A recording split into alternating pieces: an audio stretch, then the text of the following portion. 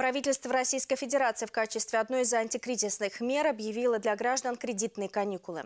Заемщики до 30 сентября текущего года могут обращаться в банки за срочкой при условии, что их доход снизился на 30% по сравнению с 2021 годом. Утверждены максимальные размеры займов, лимиты, по которым можно обращаться для предоставления каникул. Так, например, по потребительским кредитам для физических лиц этот лимит составляет 300 тысяч рублей. По ипотечным кредитам также есть свои предельные величины. Как быть с кредитами в условиях экономического спада, как их отдавать, если доходы изменились, что будет с ипотекой, как ответили на поставленные вопросы жители областной столицы, вы узнаете из нашего опроса кредит нехорошо. Почему?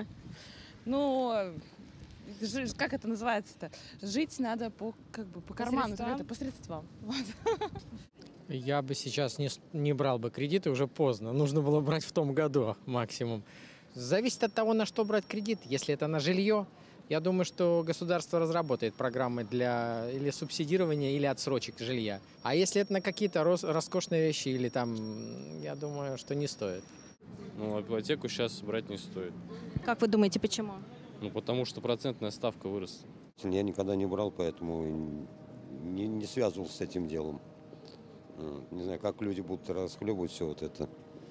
В общем, тяжело будет им, тяжело. Каникулы-то не бесконечные будут, правильно? Все равно это вернется неизбежно, да. Поэтому по возможности, конечно, если там, ну, не голодая, конечно, по возможности, да, надо как-то выкручиваться. Но не набирая новых кредитов, естественно. Я иду кредит на каникулы брать. Почему? Ну, снизилось потребительское. Ну, люди меньше денег тратят. Все-таки, ну, ситуация такая непростая. А вы думаете, потом у вас ситуация изменится? Ну, люди все равно на это на лучше надеются. Все равно как-то полгода хотя бы передых какой-то будет.